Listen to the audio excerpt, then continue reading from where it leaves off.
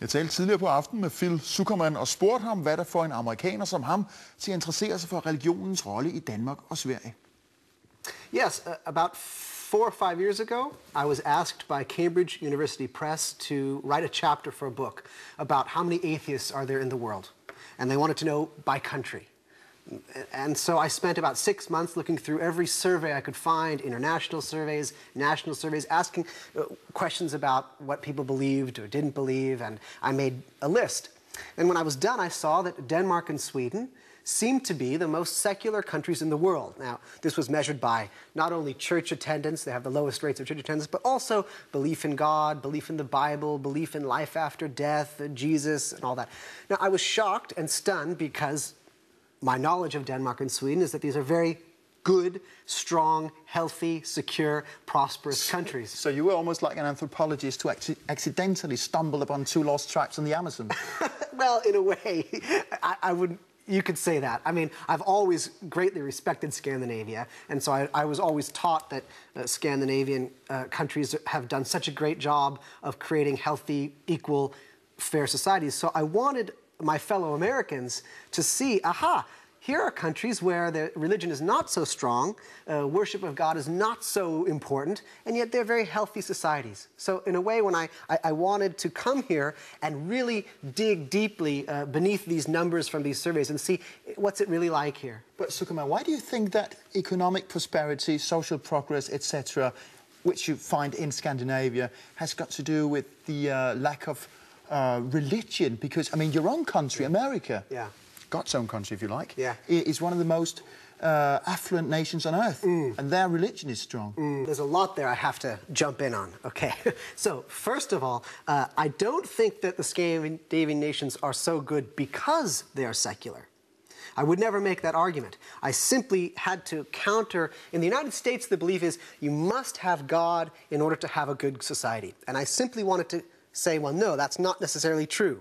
You can have a good, strong, prosperous society without much religion. So I'm not saying that the atheism or the secularity causes strong economies or whatever. They just, it doesn't seem to be a hindrance. And Americans need to know that because Americans think, oh, if you abandon Jesus and you abandon God, everything will fall apart. And I simply wanted Americans to know that that's not true.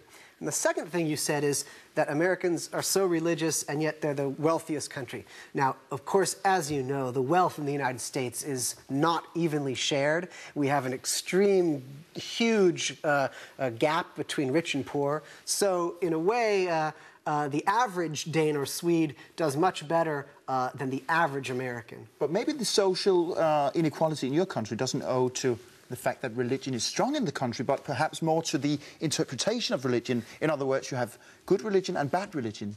Oh, I would agree with that, definitely. I, I definitely, in fact, that was one of the greatest discoveries for me w- in living in Denmark and talking to Danes and Swedes was their interpretation of Christianity is very different than most Americans' interpretation of Christianity. And, and I, I, I would definitely agree because uh, in the United States, to be a Christian means uh, you, you believe in, you know, Jesus is your personal savior and the Bible is the word of God and all these things, and that's what it means to be a Christian. And at the same time, you can own 10 guns and it, doesn't matter, and you support the war in Iraq and you support the death penalty and you don't give money to hospitals or poor people because it's their fault, but you love Jesus. And that's being a Christian in America. In Denmark, I found a very different Christian, which was you take care of each other, and that's what it means to be a Christian in Denmark. I'm quite certain, although I'm not a Christian myself, that Okay. Christian people here in this country would say, look, one of the things you didn't understand, Mr. Zuckerman, is that people in Denmark are not passionate about their religion, mm-hmm. unlike in America or in mm-hmm. many other places mm-hmm. in the world. So that what you see in terms of religion is not what you get. In Denmark, there is some sort of innerlichkeit mm. connected to the uh, Protestant or Lutheran faith. Yes. Absolutely, you're right that in the United States, uh, people are much more open. They, their religion is on their bumper stickers, their religion is in their jewelry, and they talk about God a lot. And it's true. Uh, for Da- I did find that for Danes and Swedes, uh, uh, religion is a personal matter and a private matter. However, what I would say to that is, I didn't just live here. I sat down with 150 people and had in depth conversations with them, face to face for over an hour, sometimes two hours, sometimes three hours, and I really tried to dig deep. And, and I have to say that Um, you know, there was this bishop, Lindhardt, I think is his name, and he said, oh, the Danes... Lindhardt, yeah. Yes, they said uh, Danes with their religion are like a lottery ticket.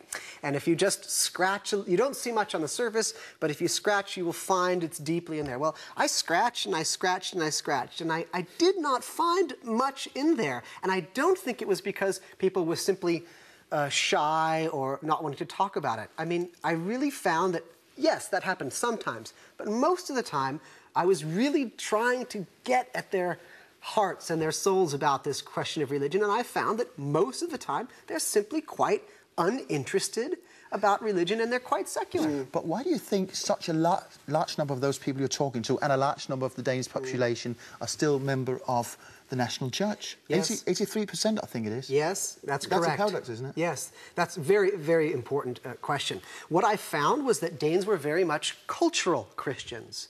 And I think many people in many countries are that way as well. I think you find cultural Catholics. Certainly in America, most Jews are cultural Jews. Um, what I found was that for Danes, uh, uh, the church is part of their culture, their heritage, their tradition. They like uh, certain rituals, of course, as you know, the uh, baptism and confirmation and marriage. I mean, they like to have the tradition of the church. They like to have the beauty of the church, and they like to celebrate certain holidays holidays because it's part of their history, it's part of who they are, and you have a nice goose at Christmas. What they don't care about so much is the supernatural beliefs about Jesus' blood saving us from sin. So I think actually it's not too strange for this. I mean, I don't right. think it's that weird. I think it's possible that people can love religion and love the traditions and not necessarily believe in the, in the details. But do you think that given the larger influx of, of Muslims or influence of yeah. Islam in Europe that, mm. that God and religion mm. will gain a larger say in Denmark? To me, this is the most important question, the most interesting question, and I hope to come back again and again to see what happens. And I think two possibilities. I think the presence of so many Muslim immigrants who are strong in their religious faith will have one of two possibilities. It may cause Danes to think, oh my goodness, you know, we need to be more Christian and we need to look to our own religion and our own God and our own Savior, and, and it may mean that Danes will become more religious over time.